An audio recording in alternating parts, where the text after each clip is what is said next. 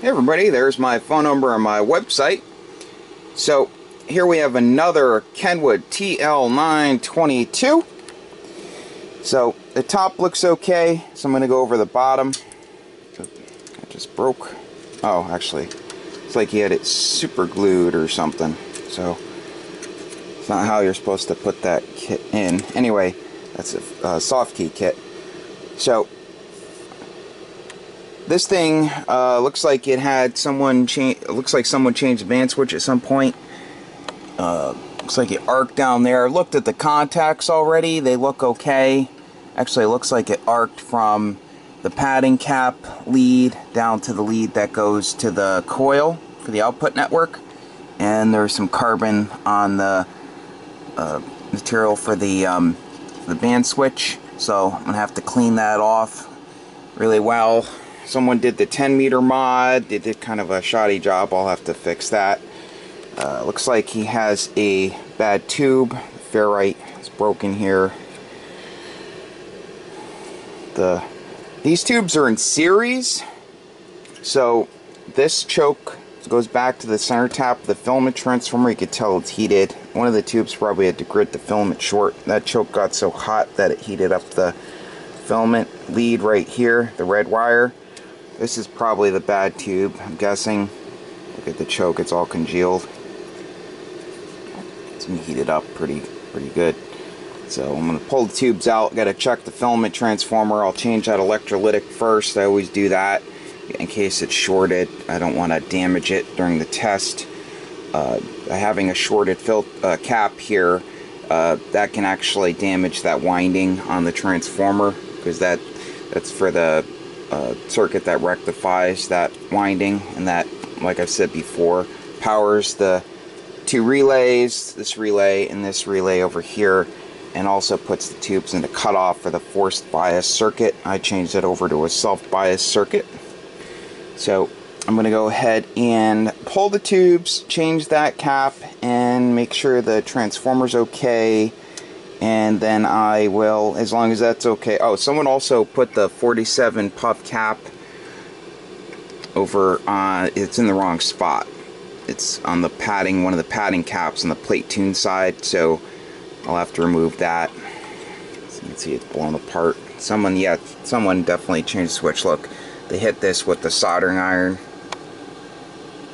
And also over here, hit it with the soldering iron. Someone's changed this choke before. Okay, so I'm going to get to work, and I will be back. See you soon. Okay, so I missed two things. You know, this is what happens when you bring something to someone that really doesn't know what they're doing. They totally messed up on the band switch. The side where the plate tune patterns are switched in. They jumped all the connections together. It's just totally wrong. So, it's going to need a new band switch. This one's just totally boogered up. I, I can't, you know, undo it and then send it to the customer. It, it's going to end up having an issue. So, it's not it's not a factory replacement one, like a stock one, nor is it a aftermarket one from Multitech. So someone found one and they put it in. So, okay. It also needs a new fan. That When I turned it on to check the filament transformer, this thing is like super slow.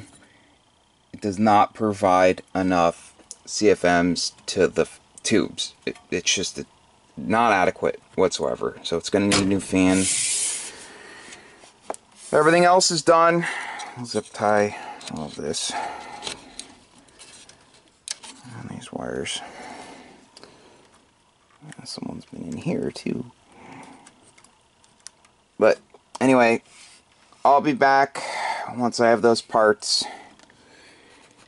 And uh, I'll see you soon there's my, for now, there's my phone number again and my website. Hey everybody, I'm back with the Kenwood TL922. So here's the old band switch. You can see someone really screwed up here arced here. So took it out, put a new one in. Took a little bit because the guy boogered it up so bad. Waiting on this 47 puff cap. It was installed, like I said before, in the wrong spot. So it goes from ground here, here to here. I've seen these without them. Some with, most with, some without. Sometimes I put it here. Sometimes I put it over here, but for some reason I've seen them without it. So, okay, so the guy uh, made a connection between, you know, you're supposed to have the connection between the loading capacitor and the band switch, and it was all screwed up a cold solder joint and he had soldered to that little nub down there of a tab. So I tried taking a screw out and it just spun, spun, spun. I couldn't actually pull it out and I was lucky to get it to re-engage. So what I did was, when I went to tighten it, I'm, I'm lucky I got it to grip, to grab. I ended up soldering directly to the cap because it those screws go through this material right here anyway, so I got it really hot and I soldered right to the plate. Solid copper wire, and I put some Teflon over it, and it's not touching ground, but I put Teflon over it just in case. So it's just slightly longer, just a, maybe a quarter inch. So, so the connections are good. All that's good. So just need to replace the fan and that cap like I said before. I'll put the side cover back on and uh, I'll test it, but it should be good.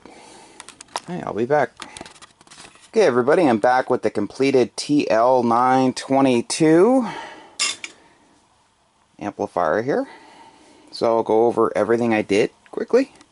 So I had to replace meter lamp bulbs somewhere out, so some of the wires were all burnt up. Someone went in here with a soldering iron just just was very very sloppy burnt the insulation on a lot of a lot of the wiring so cleaned all that up placed the bad bulbs. Everything zip tied put the series glitch resistor in. Zip tied the wiring. Everything's spaced properly down there. Put the strap in between the plate choke and the plate blocking cap. I removed the tubes. This got a brand new Penta uh, Labs set of tubes and I got rid of those U-shape parasitic suppressors. Uh, they weren't made right. Uh, the resistors already had shown some heating. So I put the stock assemblies back in. Air variables nice and clean. Got the brand new rotary switch in. I'll show that when I flip it over. So everything looks good over here. So I'll go ahead and flip it over. I'll be right back. Oh, also wanted to point out I put in the meter protection diode. I always do that. Saves you from taking out the plate current meter if you have a short. Also zip tied the wiring over here. Okay, be right back. Okay, I'm back with the bottom here. So I grounded the grids the proper way. Self bias modification. Check the SO239 connectors. As you can see, someone you know went in here with their soldering iron, like I was talking about. They burnt the insulation on a lot of the wiring, but you know. So change the rotary switch, you know, the band switch, installed a new 47 PF cap. It was installed in the wrong spot. I've seen these with them, without them, but I went ahead and installed it.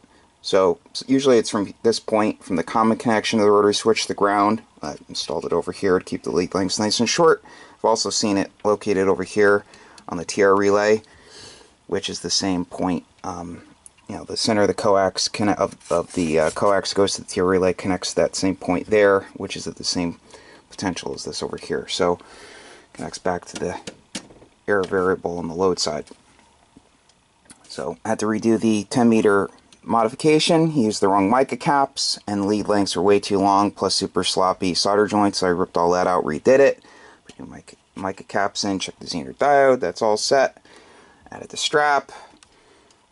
So, added also changed the electrolytic. I always do that. So, I removed that uh, aftermarket soft key. It wasn't a Harbach kit. It was uh, a different kit.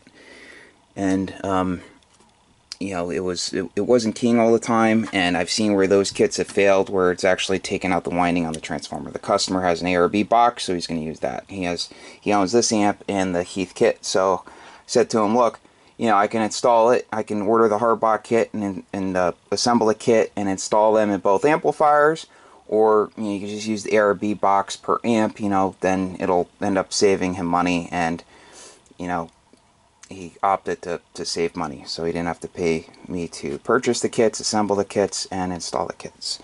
So I love making money, but you know, I also uh, like being honest. I prefer being honest over making money. So, so this thing's all set.